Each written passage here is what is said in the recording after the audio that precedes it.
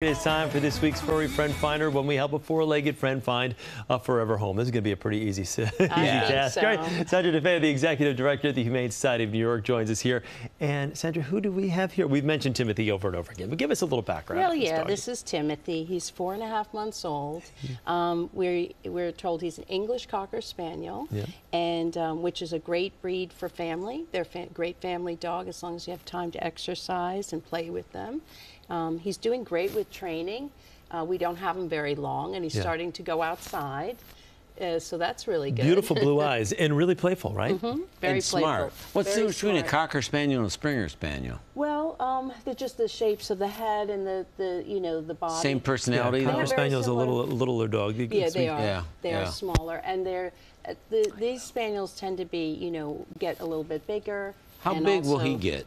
Well, you know, it's hard to say, but probably 35, 40 pounds. Yeah. Yeah, we're guessing. Um, it might be even a little bit more. He might just have a, bur- a growth spurt. Right now, he's only 13 pounds. My very first dog was an English Springer Spaniel. Oh. Good dog, right? Yeah.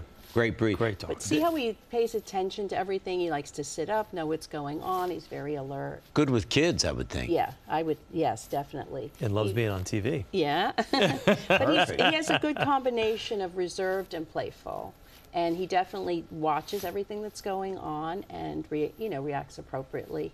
What a great temperament. And a quiet, yes, Yeah, very I very mean, good this- temperament. I mean, Do they Yeah. shed a lot or just a little? They do shed.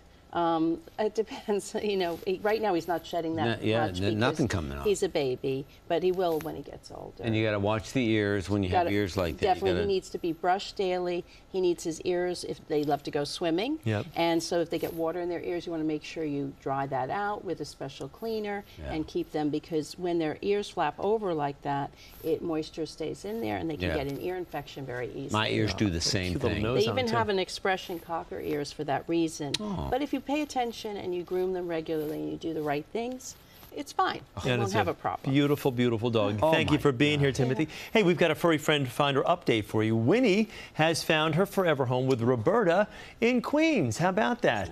Roberta has given her the new name of Madeline, calls her Maddie for short, if that's okay. Cute. Uh, Maddie enjoys going for walks, running around in the private courtyard they have, watching TV in the living room, and curling up under Roberta's desk for a nap while Roberta works on the computer. There, yeah. Per- Personally, I would have stuck with Winnie, but uh, Yeah. it's okay. She wanted to go with Maddie. That, that's great as well. This dog, though, energy. They Yes. they have, you know, my brother-in-law has dogs like Yes. Mm-hmm. this, and they like have a, they need a job, they want something to do. They definitely do. Yeah. They are spaniels. They got to run. Got to Yeah. go, go, That's go. Run and why fetch. great family dog because everybody's active and Yeah, doing things, yeah, and they can be part of that. Got that tennis Right now he's a puppy, so he's trying to go to sleep. Well, for more for thanks so much, Sandra. For more information on our furry friend finder, head to our website cbsnewyork.com, and we will be right We back. Thank you, you, Timothy. Timothy. Sandra, thank you. as oh, well. oh, thank you so much, Chris.